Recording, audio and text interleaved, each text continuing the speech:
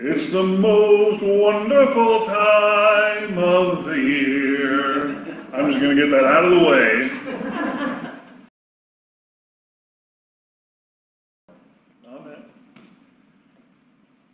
When I read this passage this week, I was struck by just how matter of fact this reads, just, just how simple it is, how, how very documentarian it is. In the days of Caesar Augustus, on the time when Quirinius was governor, and then this happened, and then this happened, and then this happened. There's a, there's a joke that I've heard about how you would describe the four Gospels that uh, Matthew is the book, Mark is the movie, Luke is the documentary, and John is the fever dream that inspired them all. But, reading, but reading Luke, Luke treats this as an historian, and I can appreciate that. But, it, it, but it's, it's, it's such a, a almost dry rendering of what actually happened. Right? It's, it's very, very Joe Friday, just the facts, ma'am. And the, you know, using that to describe what a universe-changing thing happened in that stable. And I think that's the point. I think that's the point. I think that's the takeaway from this. That momentous, life-changing things, miracles, divine instances, those can happen in the most ordinary and simple and mundane circumstances. I mean, it, I love nativity scenes. I love nativity scenes. This is this one is so colorful and, and festive, and, and you automatically know what's going on, right? And I, I like to collect them. I've, I've actually collected uh, quite a few over the years. Nothing that nothing with all the figurines, but it's usually just a, a little thing. That's really all you need is you need that, that image of Mary and Joseph and little baby in the manger and maybe a star. And that's all you need, and you instantly know what that scene is, what's going on. And, and, you, can, and you can contemplate that and, and, and, and rejoice about, about, about that scene. You know, we, we had a lot of Christmas decorations when I grew up as a kid, and I, I always enjoyed when the time came around to decorate the house. But the only real, what you would say, religious or Christian decoration that we really had growing up, like we had, we had lots of snow, we had lots of Santa and reindeer and, and you know, winter scenes and, and, and all that. But in, in, in, our little fake fireplace in the living room, we would just have this, this paper mache nativity set. And just these, these, these three paper mache figures about yay high of Mary and Joseph and little, little Jesus in the manger. You know, you know handmade set. I, I, I couldn't tell you how old it was. I don't remember a time when, when we didn't have them. But it, but it was there in the little fireplace, which was the set for the for the stable, and that and that was it. But that was enough. That was enough for that scene to to to think about.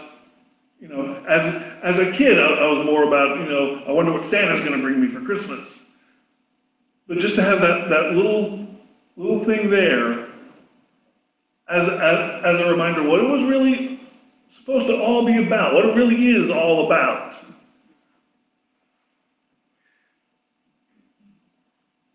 And I've talked about St. Francis a bit over the past few months, and I don't know if I've related this story to you. It's one of my favorite things. We, uh, history credits St. Francis with inventing the nativity scene. But when I started to research it, it, it what I found was so wonderful. It's not like he took a little model house and put some clay figures in there or whatever, carved out of wood or whatever, and, and here, here's a thing we can, you know, as, as an object of uh, contemplation, you know, a little, little bit of ima- imagery to consider. He didn't do it like that. He did not do it like that. He took, he went to his hometown of, of Assisi in Italy and decorated this whole big stable area. Right? Just straw strewn all over the place. And he brought in uh, a, a donkey and he brought in a bowl and he got him to sit down and a little wooden manger full, full of straw. That was it. That was it. And so he and his Franciscan brothers, all, all, all his friars, led the procession for the people through the town into that stable area where they'd all congregate around. And Francis started preaching, and the brothers started chanting and, and singing the hymns. Right? There was no there there was nobody dressed up as Mary or Joseph. There was no doll in the manger. No nobody playing the three magi coming in. No shepherds. No nothing. Right? He just set the stage. He just set the scene, and then he talked about it. He preached. They sang and they chanted. And according to Francis's biographer, there was at least one person there in that congregation who had a vision and actually saw the Christ child in the manger.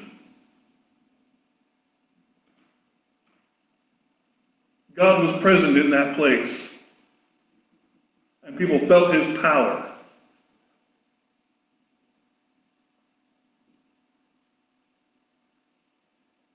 You know, it doesn't need to be a big production to tell this story.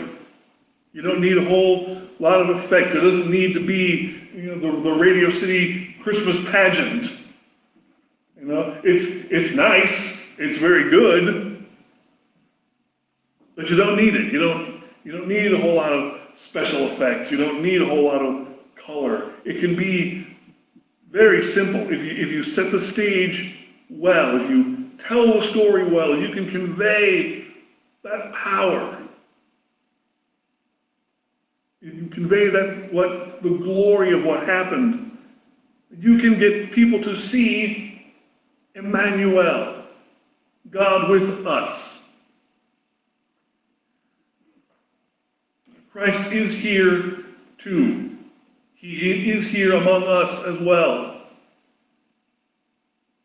And no matter where we go and no matter what we do, He's there. He's there waiting for us. He's always there. So I want to ask you in, in these last few days leading up to leading up to this Christmas and, and, and for the time past, and this is a little tidbit, I, I don't know if everybody knows this, the 12 days of Christmas actually starts on Christmas, despite what the advertisers would, would have you believe. The 12 days of Christmas starts on Christmas Day. Christmas does not end until January 6th. Don't think I'm not going to milk that for all it's worth. So, what I want to ask is how can you set the stage for somebody else? How can you tell that story so that someone else can see the child in that manger, that someone else can feel the glory and the joy of Emmanuel, of, of God with us? And it doesn't have to be a big thing. You can keep it simple.